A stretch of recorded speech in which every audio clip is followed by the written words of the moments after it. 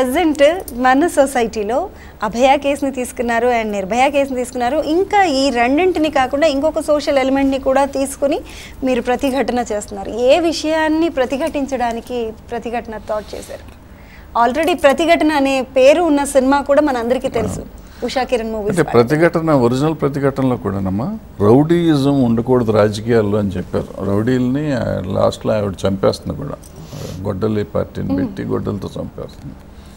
So ఈ cinema కూడా రౌడీయిజమేనమ్మా ఇప్పుడు లేటెస్ట్గా ఉన్న స్టాటిస్టిక్స్ ప్రకారం thirty two thirty five percent criminal record ఉన్న వాళ్ళే మన ఎమ్మెల్యేలు కానీ ఎంపీలు కానీ అని చెప్పారు.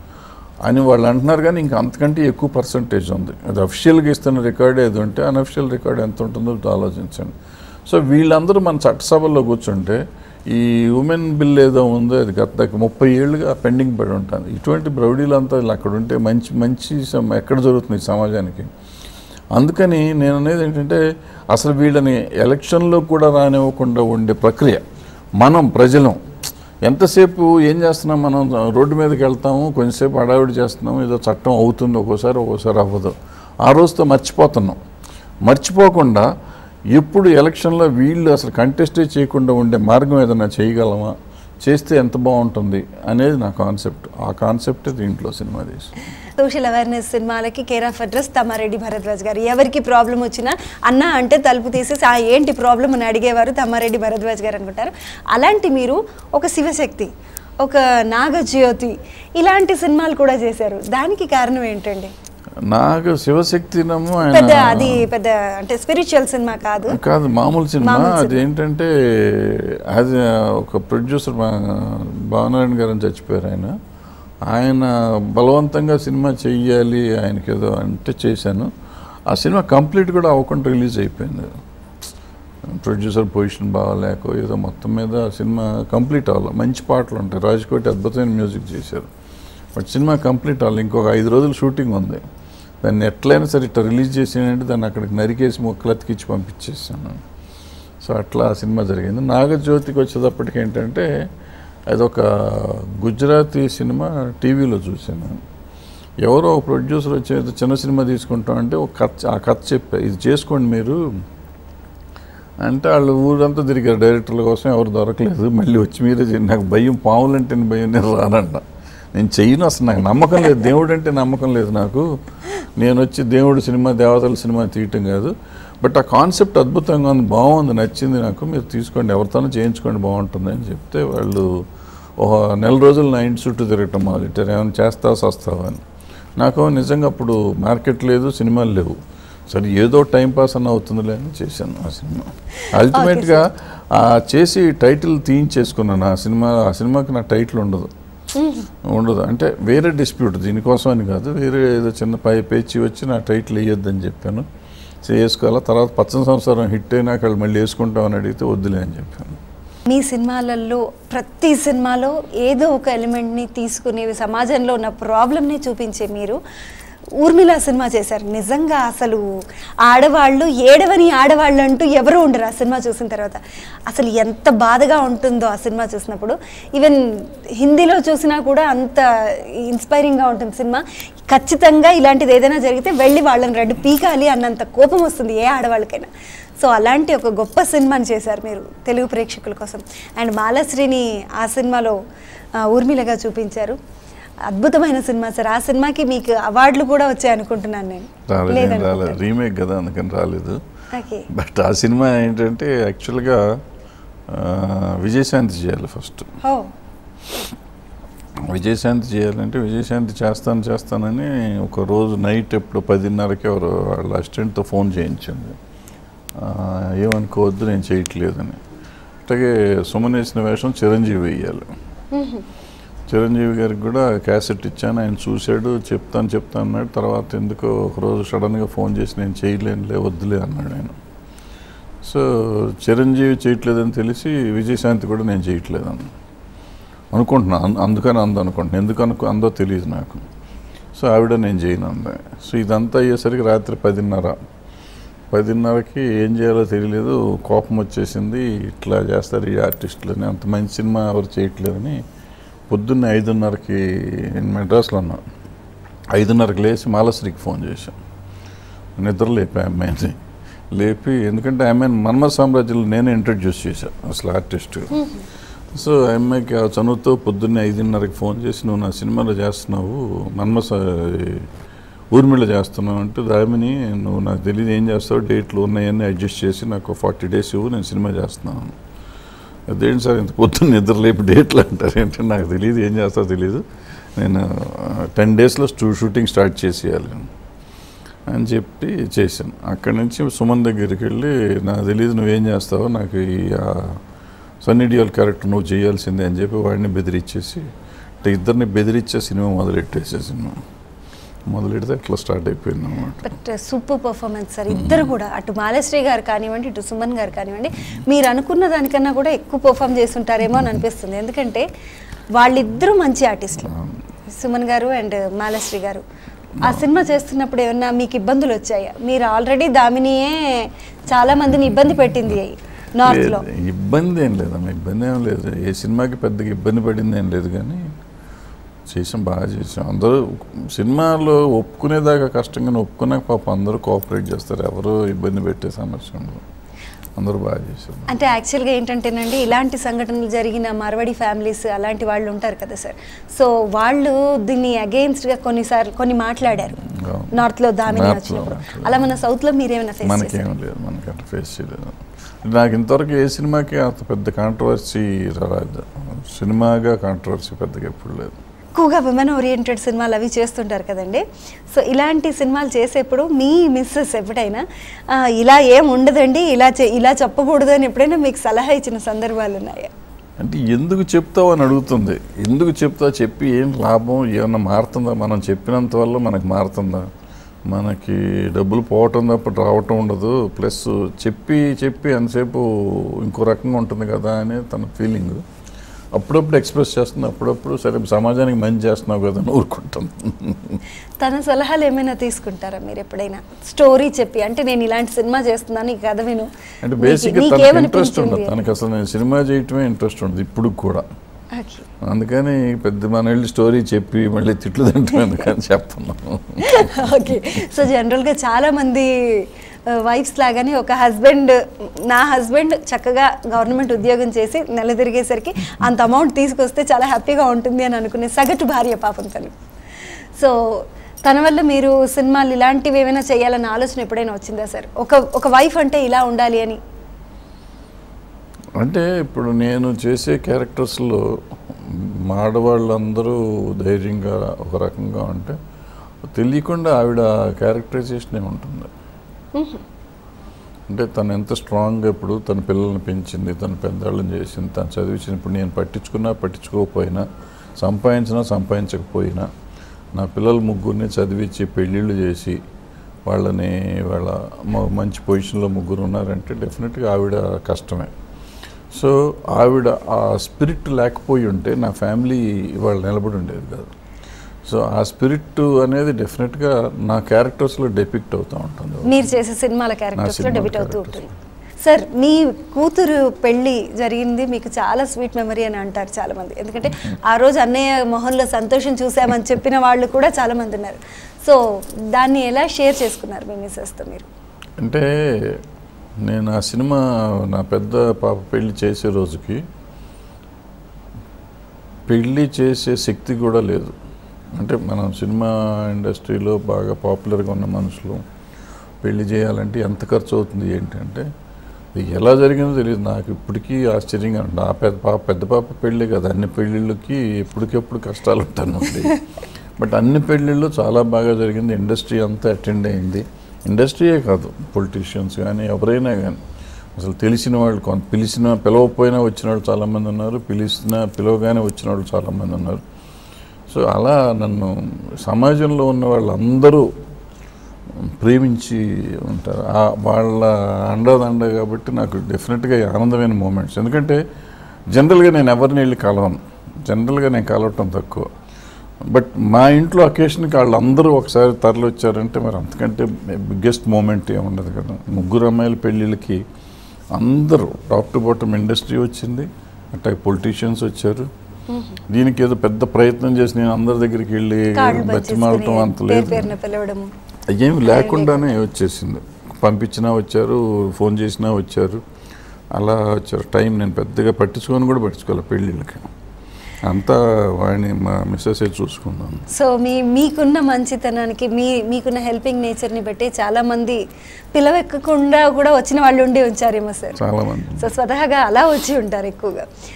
ఇలా అంటే మీ ఫ్యామిలీ మ్యాటర్స్ మాట్లాడుతుంటే ఇంకొక విషయం అడగాలనిపించిందండి. అదేంటంటే మీ ఫాదర్ కృష్ణమూర్తి గారు ఆయన అసలు ఆయన థాట్సే వేరు. ఆయన పెద్ద కమ్యూనిస్ట్ అని కూడా చెప్పొచ్చేమో. అంటే ఆ వర్డ్ యూజ్ చేయాలో యూజ్ చేయకూడదో నాకు తెలియదు కానీ ఆయన కమ్యూనిస్టే అని అందరూ అంటూ ఉంటారు. సో నాకు అలాగే చిన్నప్పటి నుండి అలాగే తెలుసండి. సో ఆయన థాట్స్ని మీరు ఎప్పుడైనా ఆయనకి ఇలాంటి ఆలోచనలు ఉన్నాయి నాన్నగారి ఇంట్రెస్ట్ ఇది కాబట్టి నేను ఆయన ఇంట్రెస్ట్ని తీసుకొని ఇది చేస్తున్నాను అనే ఫీల్డ్ ఏదైనా ఉందా సార్? అట్లేం లేదు. అట్లా అనుకుంటే నాన్నగారు తీసిన సినిమాలు ఏ కమ్యూనిజానికి సంబంధించినవి కాదు కదా. ఆయన లక్షాధికారి జమీందారు దత్తపుత్రుడు ధర్మదాత ఏది ఇలాంటి సినిమా మా- నేనన్నా టచ్ చేశాను కానీ అప్పుడప్పుడు ఆయన అసలు ఎప్పుడు టచ్ చేయలే. అలాంటి. సినిమాలు.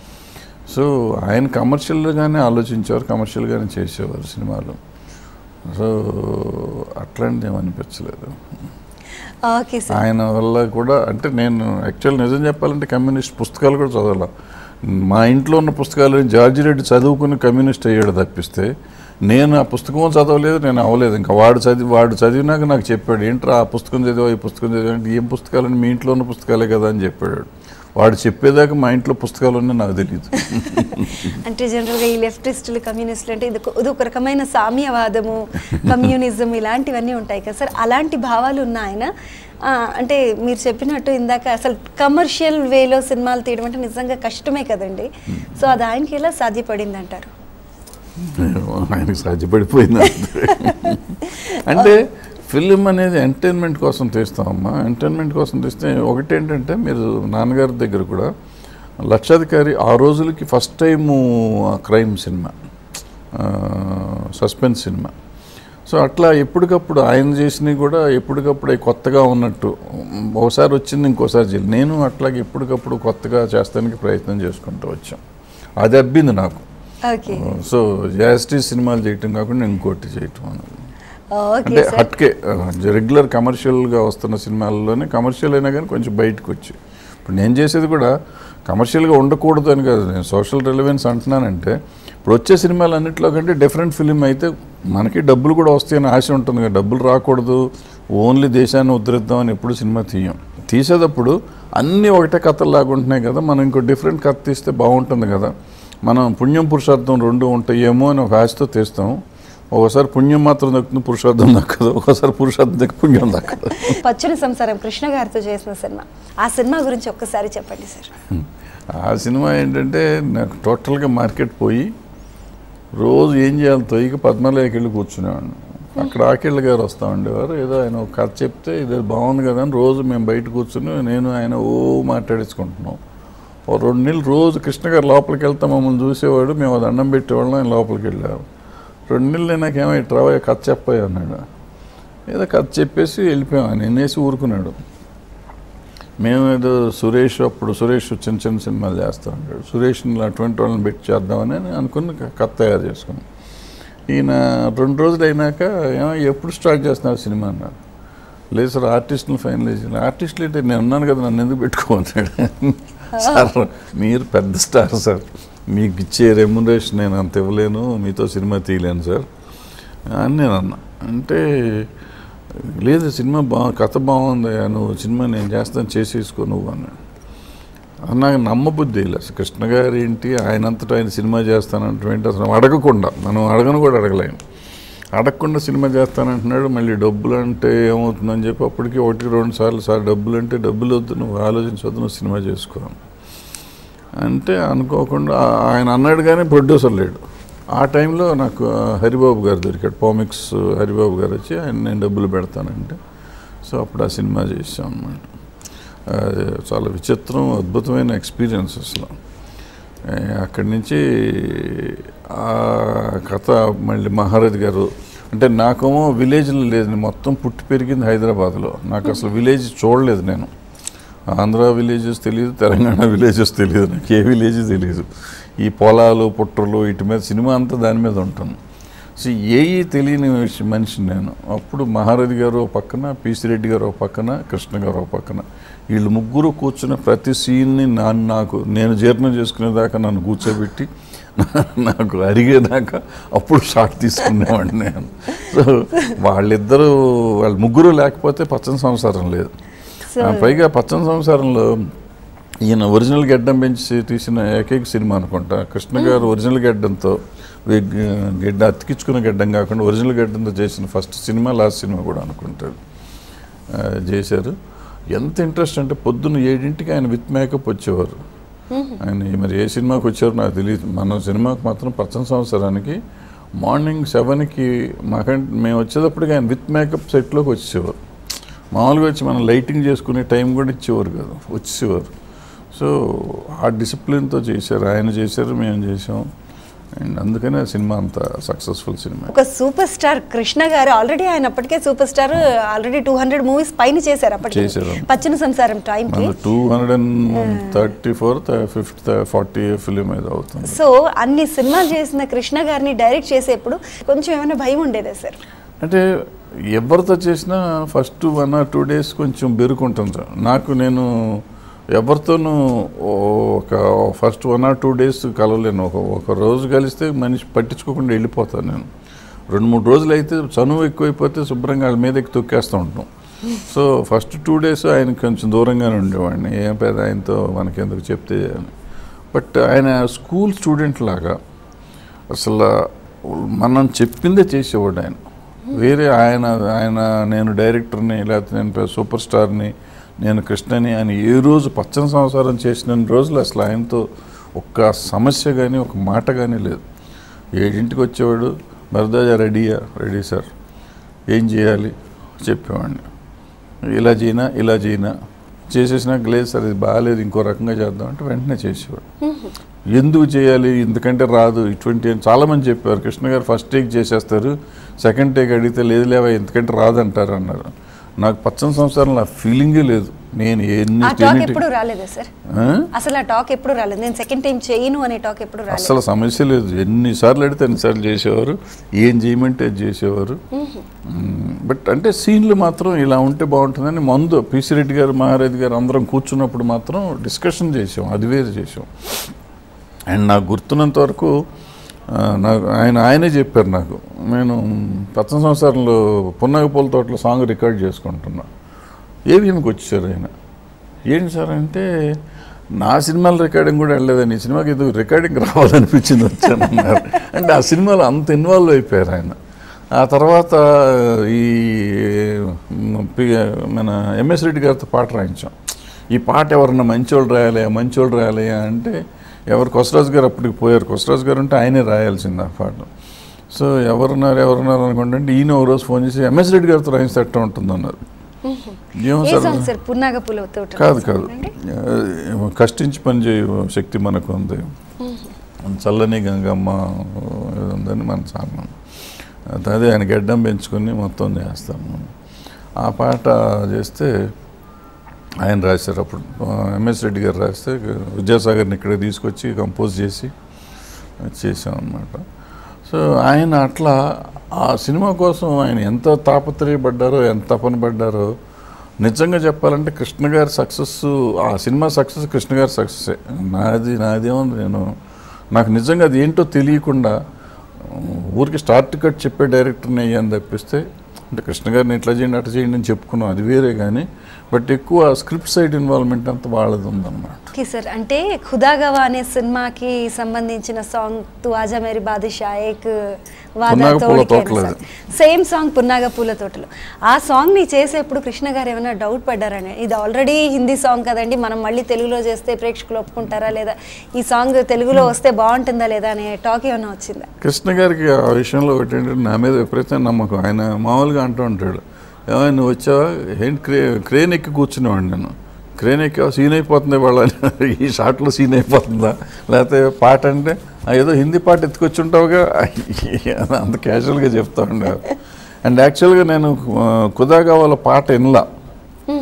బట్ ఏమైందంటే ఏదో హిందీ సినిమా క్యాసెట్ నా కారులో ఉంటే దాంట్లో ట్రైలర్ లాగా ఒక చిన్న పల్లవి మాత్రం ఉంది.